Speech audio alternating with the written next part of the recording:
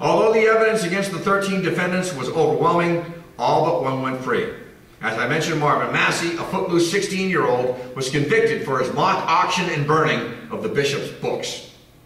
He was sentenced to life imprisonment at hard labor, but at the request of 5,000 citizens, including Bishop Fenwick, whose name headed the list, and the Mother Superior, Massey was pardoned.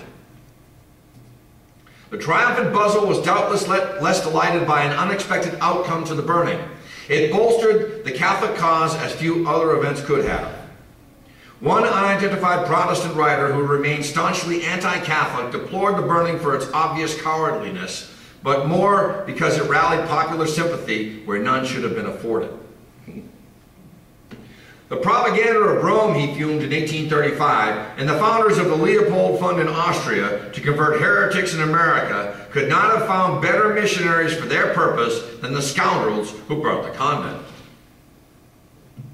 No compensation was ever given for the destruction of Ursuline Convent. The convent ruins stood for nearly half a century grim evidence that Reformation fires of intolerance still smoldered more than 200 years after they were brought to America. The hill upon which the Ursuline convent stood is now part of Somerville. By the turn of the century, Mount Benedict had been leveled. Its soil was used for landfill. Nothing remains of the convent except some bricks which form the arch of the front vestibule of the present Cathedral of the Holy Cross in Boston. Attorney General Austin was prescient enough to see this bleak irony taking shape, and in his closing statements at Buzzell's trial, he asked the jury, where will be the pride of your American feelings when you take the stranger to Bunkers Heights and show him the slowly rising monument? Where will be the pride of your American feelings when that stranger points to the other monument of ruins that frowns so gloomily on the adjacent eminence? The chills of 50 winters would not send such an ice bolt through your hearts. And finally, the ciborium from Mount Benedict that was thrown away that night by Henry Creasy was eventually recovered. Creasy, one of uh, Buzzell's boys, would later commit suicide. And again, I recommend this book, Fire and Roses, by Nancy Lusignan Schultz. Any questions before I move to Broad Street?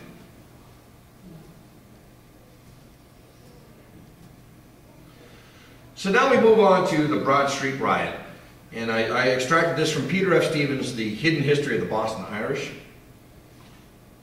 Once again, thank you to the Watertown Free Public Library for supplying me with all my resources as usual. The, the Minuteman Library Network is excellent. Um, this is a depiction, you're going to see this in the background, but uh, if you look at Great Financial Crisis, uh, I do another uh, talk called uh, Panics, Booms, Busts, Bubbles, Recessions, and Depressions, A History uh, American financial crises. Uh, from the Mississippi uh, land bubble of 1720, Duer's last panic, 1792, the, uh, the Depression of 1807, the Depression of 1818, the Depression of 1825, the Depression of 1837, the Depression of 1848, the Depression of 1857, the Depression of 1869, and Grant's last panic of 1884. You get the picture. Depressions come every 10, 15 years. We've been through this before. I call this period that we're in the Great Humbling. Um, and uh, some last longer. You have to have the nadir, you have to have the, the, low point, the trough before you zoom out of it. But in 1837, there was a depression in the United States. And this is the Broad Street riot. It was a warm and sultry June afternoon when Fire Engine Company 20 had returned to its station on East Street in Boston after having quelled a blaze in Roxbury. Some of the firemen went to a nearby saloon on their way back to their homes. They waded into about 100 Irishmen who were on their way to join a funeral procession that was around the corner on Sea Street. The Boston firefighters, protagonists in the sprawl, were native Yankee stock from the poorer streets of Boston, where hostility towards Catholics and the Irish was at its fiercest. It was less than three years since the burning of the convent in Charlestown, and also employment was scarce due to the Great Depression of 1837. Tensions ran high. Also, several of the firemen moving towards the crowd of Irishmen allegedly had their hand in the Ursuline convent fire. They exchanged surly stares, and it seemed peaceable enough as it looked as though the firefighters would pass through the crowd without incident. One engine man, 19-year-old George Fay, had lingered longer than his comrades over his cups. He had a lot of the creature in him, liquid courage. This is a depiction of immigrants, by the way.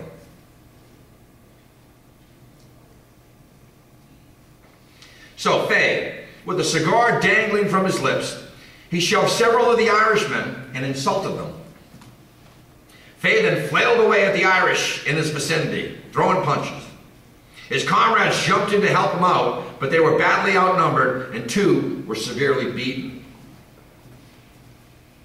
The enginemen then fled to their station at the order of 3rd Foreman W. W. Miller. Here's the culprit, this guy. If Miller had simply barred the door, the pursuing Irish probably, and I, I want to stress, probably would have turned back to their funeral procession if he had just locked the door. But Miller, quote, lost his head completely, carried away either with fear or with rage and a thirst for revenge. He issued an emergency alarm so that every fire company in Boston would respond to E Street to take vengeance on the Irish. He rings the fire alarm. All around alarm, he's asking for help. And now all these firefighters are coming in thinking there's a major fire. The Irish began to disperse, but that did not prevent the men of Engine Company 20 from rolling its wagon onto Broad Street and sounding a false alarm. Then Miller dispatched some men to ring the bell at the New South Church and a church on Purchase Street. One of the firefighters dashed to the engine company 8 on Common Street yelling, The Irish have risen up upon us and they're going to kill us. The Irishmen who had fought with Company 20 were now trailing the funeral procession, a hearse and several carriages, trailed by about 500 mourners. The cortege wound its way south onto Sea Street, winding towards the Bunker Hill Cemetery in Charlestown. Isn't ironic that it's right near the convent, Irish section? Engine Company 20 had Miller leading them in pursuit of the Irish, and he shouted, Let the Paddies go ahead, and then we'll start. The firemen rushed towards Sea Street, yelling, Now look out! Now look for it!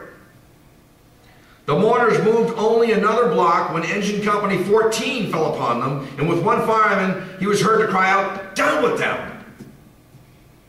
The procession then turned onto New Broad Street, that's a funeral procession, near today's South Station, and directly into oncoming engine company number 9. So they're surrounded by engine company 9, 14, and 20 at this point. The horse-drawn fire wagon then veered into the mourners' ranks, scattering and knocking down men, women, and children. The Irish jumped at the conclusion that the number nine's men had intentionally insulted and assaulted them.